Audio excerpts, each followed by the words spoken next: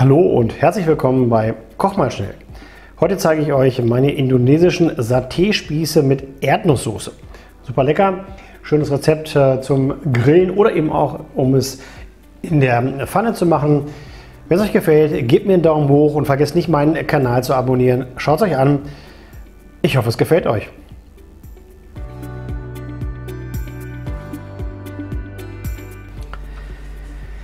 Alles, was ich für meine indonesischen Saté-Spieße brauche, habe ich hier bereitgelegt. Ihr seht hier wieder eine kleine Aufteilung. Auf der linken Seite von euch aus habe ich erstmal alles zusammengestellt, was ich für die Saté-Soße, für die Erdnusssoße brauche. Und zwar fangen wir an hier mit Erdnussbutter, die ich dazu verwende. Dazu kommen noch Erdnüsse, hier gesalzene, deswegen gibt es auch bei mir kein Salz mehr dazu. Wenn ihr das nicht mögt, versucht ihr ungesalzene zu bekommen oder wascht die hier ab, aber das geht auch gut. Dazu brauchen wir dann außerdem hier Hühnerbrühe. Je nachdem, welche Konsistenz wir mögen, gießen wir die dazu zu unserer Soße. Ich habe eine Gemüsezwiebel hier, vier Knoblauchzehen, die noch dazu kommen. Außerdem brauchen wir für die Soße Zitronensaft. Wir brauchen ein bisschen Erdnussöl zum Anbraten gleich der Zwiebel und Knoblauch. Wir brauchen braunen Zucker, gut zwei Esslöffel hier. Wir brauchen Kokosnussmilch. Standarddose cremige Kokosnussmilch und wir brauchen für ein bisschen Schärfe, für ein bisschen Kick hier Sambal Oleg. Das ist äh, für die Soße, die wir zunächst machen werden, die wir vorbereiten werden. Und auf der rechten Seite hier äh, seht ihr das, was wir für die eigentlichen Spieße brauchen. Wir brauchen Hühnerbrustfilet, das hier vier Stück, das sind so gut 800 Gramm, habe ich ausgewogen. Dann äh, brauchen wir Spieße, Holzspieße. Wenn ihr es auf dem Grill machen wollt, was natürlich super gut geht, dann bitte vorher wässern die Spieße. Und wir brauchen zum Anbraten der Spieße, die wir gleich danach vorbereiten werden, so ein bisschen Erdnussöl nochmal. Und das war es eigentlich auch schon und dann können wir mit den Vorbereitungen loslegen. So, ich habe jetzt zwischendurch die Zwiebel schon mal klein geschnitten. Die muss nicht so wahnsinnig klein sein, die pürieren wir sowieso nachher. Und Knoblauch auch schon mal so in grobe Stücke geschnitten, vorher gepellt und dann so ein bisschen zerdrückt und geschnitten. Und wir fangen jetzt zunächst mal an und braten die Zwiebel an. Hier geben also das Öl in die Pfanne und lassen das erstmal heiß werden. So, dann geben wir die Zwiebeln dazu. So, wenn die Zwiebeln dann so ein bisschen Farbe angenommen haben, und dann geben wir auch unseren Knoblauch dazu. Nicht so lang wie immer, ihr wisst das, Knoblauch wird sonst schwarz, also nur so lange, bis er anfängt zu duften. Und dann machen wir weiter. So, ne, vorsichtig hier, dass er nicht ganz schwarz wird. Und jetzt geben wir auch schon unsere Kokosmilch dazu.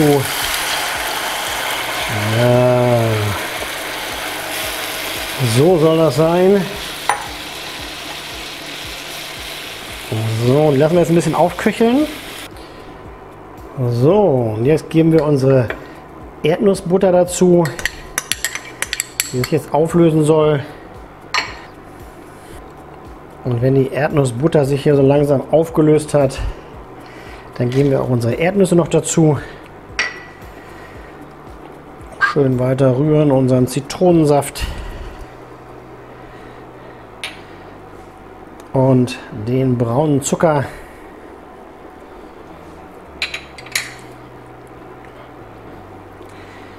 Und auch schon jetzt hier Samba Oleg. So. Wie gesagt, aufpassen jetzt, dass das nicht überkocht. Das soll heiß sein, sich auflösen, aber nicht mehr richtig kochen. Reicht auch schon hier. Ich gebe jetzt mal noch ein bisschen Hühnerbrühe dazu.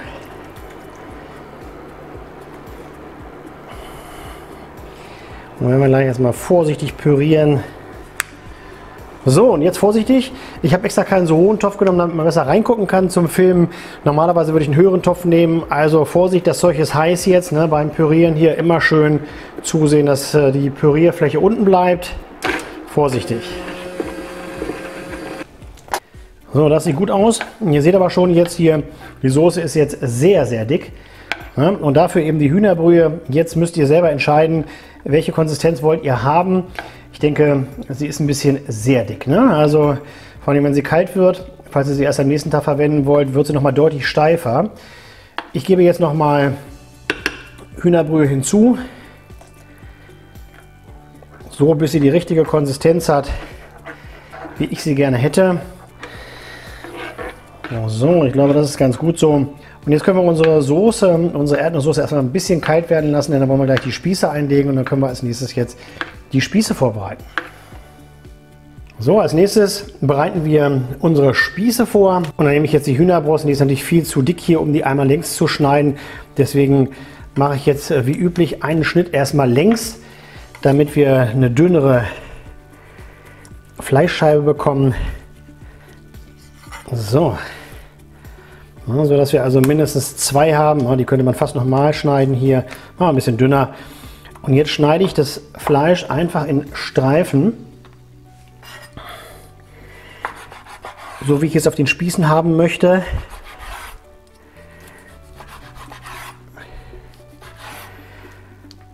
Und spieße jetzt das Fleisch immer so in Spiralen auf. Da heißt das Spirale? Naja, in Wellen. So, je nachdem wie viel ich auf einen Spieß bekomme. Ne? Wie gesagt, denkt dran, ich mache es jetzt gleich für euch in der Pfanne. Wenn ihr es auf dem Grill machen wollt, bitte vorher die Spieße einweichen, damit euch die nicht verbrennen auf dem Grill. Und dann mache ich einen Spieß eben voll so viel, wie ich möchte. Wie viel da drauf sein soll.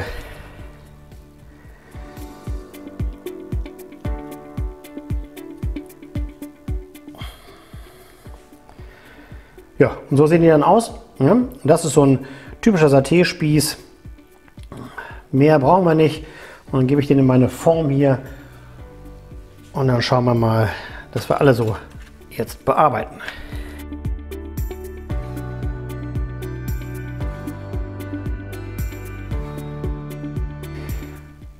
Alles fertig gespießt. Ne? Ich habe jetzt hier 15 Spieße gekriegt, so von dieser Größe. Ne? Das hängt natürlich jetzt davon ab, wie dick ihr eure Spieße bestückt. Also wenn ihr die in Indonesien esst oder in äh, Thailand, da sind die deutlich schmaler bestückt. Das tut der Sache aber keinen Abbruch. Sie schmecken trotzdem super lecker. Müsst ihr unbedingt probieren, falls ihr mal in die Länder kommt. Also heute machen wir sie selber. 15 Stück habe ich jetzt hier geschafft. Und äh, meine Erdnusssoße ist jetzt ein bisschen abgekühlt. Ne, ihr seht schon, wie ich vorhin schon gesagt habe, die ist jetzt schon ein bisschen dicker geworden. Ne, ihr seht also hier, die hat schon eine sehr cremige Konsistenz jetzt. Eventuell am nächsten Tag nochmal mit einem Schluck Hühnerbrühe verdünnen, aber für uns ist die jetzt genau richtig. Und jetzt mariniere ich sozusagen meine Hühnerspieße hier, meine Saté-Spieße in meiner eigenen Soße. Und dann sollen die noch so ein bisschen durchziehen. Das Ganze gebe ich dann nochmal so eine gute Stunde dann in den Kühlschrank, damit der Geschmack aus der Saté-Soße, deswegen brauchen wir auch hier so viel, aus der Soße jetzt in die Hühnerspießchen hier zieht. So. Und jetzt geht es für eine Stunde in den Kühlschrank und dann sehen wir uns an der Pfanne wieder. Bis gleich. Meine Hühnchenspieße haben jetzt eine gute Stunde im Kühlschrank mariniert. Und jetzt legen wir los. Jetzt können wir die Hühnchenspieße braten. Da brauchen wir nicht so eine hohe Temperatur, denn äh, wir haben jetzt ja die Spieße eingelegt und da muss man jetzt ein bisschen aufpassen, dass sie nicht verbrennen.